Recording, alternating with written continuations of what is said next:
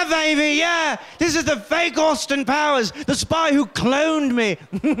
and you're watching Lizards of Wisdom television. Yeah, baby, yeah. Hey, crazies. Welcome to another episode of Low TV. Just Insane here. We're up in San Francisco today for the second game of the three game series between the Giants and our LA Dodgers. Go Dodgers.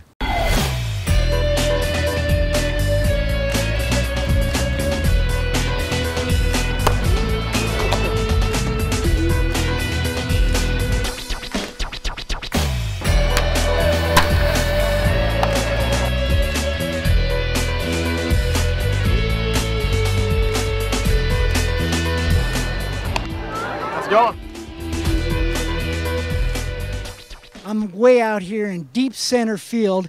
This is usually during the game where you're going to see our stud, Matt Kemp, running full speed this way, not even looking behind him, over the shoulder boulder holder, 421 feet, jumping, catching the ball, and crashing into the fence as he does.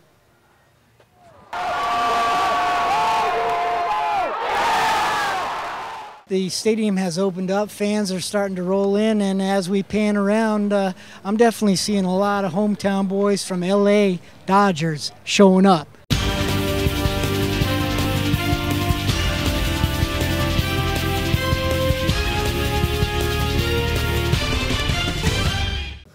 Right, I'm here with Josh Suchon, and we're going to be talking quickly about the state of the Dodgers Giants rivalry. Going all the way back to one of our shows back in 1998, we're uh, over at Candlestick Park, and uh, it was it was a pretty mean, pretty mean crowd back then. Almost similar to how the the Dodger fans in LA are real tough on the Giants. Josh, how how has the the state of the rivalry changed here at the new park?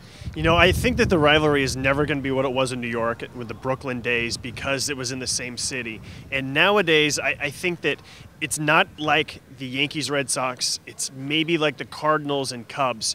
But right now, it's an interesting time because I always feel like for whatever team is at the bottom of the rivalry, those fans tend to be more angry than the team that's at the top. And so during the 70s and 80s, the Dodgers dominated the rivalry so much that there was a feeling for the Giants that, well, we knew that we're not going to make the playoffs, but anybody but the Dodgers, which is where the beat LA sort of came from. And so people would come out to Candlestick Park, and it was an angry place, and it was a dump. It was a horrible, miserable, cold place to be.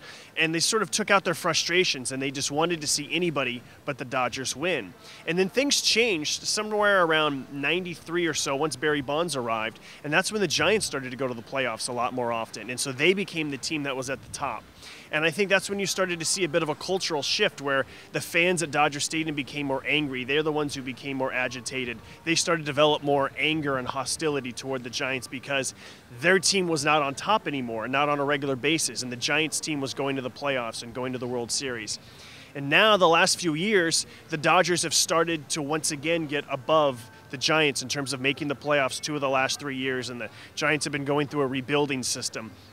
So it's it's an interesting to look through the years how it changes. And the other thing that's changed dramatically, as you pointed out about Candlestick, is this beautiful ballpark that the Giants have.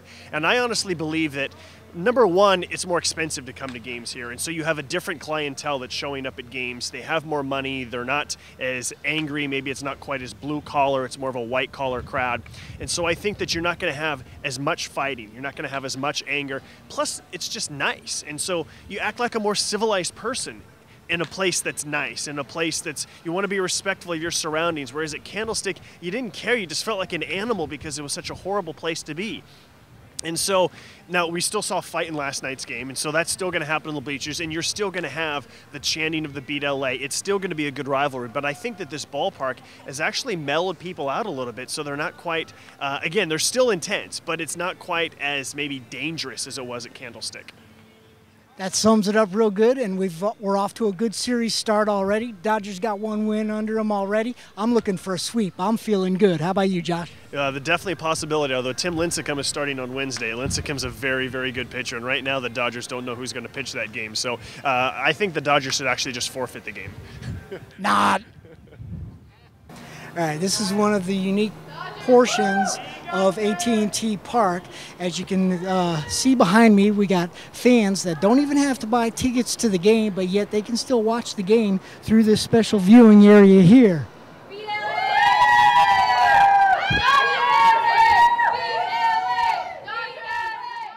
And we're looking at what could be a premonition of this whole series right now. What's it called? Sweep. Sweep. Sweep. We already got game one. Just need two more. Sweep. I'm here with Ramon Troncoso, uh, talking a little bit about the Dodgers Giants rivalry. How's it feeling right now after that first win last night? Uh, I feel great, no? That's that's the that's the way it's the to the win. That's the win, you know, especially on this team in our division. We have to play hard as we can, and we won last night. It's a great game, you know. After we lose that three games there at home, so we got the opportunity to win tonight, tomorrow too, and beat the and beat the Giants. The last two outings for Broxton here last night and back at home, he had a little extra work done on the mound from the grounds crew. How's his toe doing? Well, the toe is doing fine, and I think a big problem, a big reason why the uh, the toe thing cropped up is because don't worry about it, I'll pitch this way, you know, and, and he, you know, may have been a little tougher for him, or he may have irritated it because he had to dig out of a hole.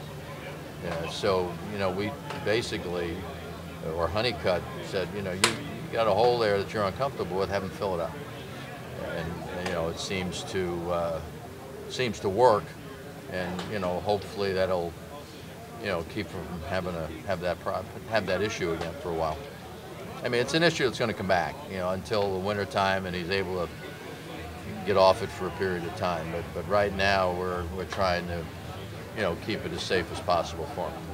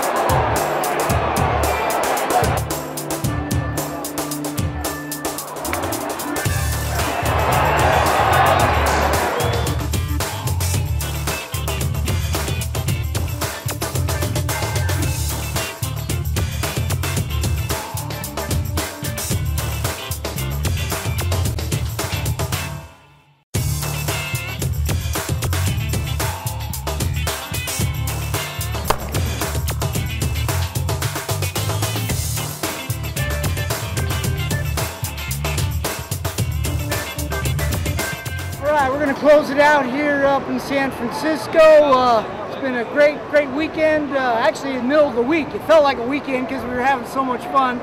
Middle of the week, uh, three-game series. Tough, tough loss today. Uh, lost it in extra innings. Hey, we took two out of three.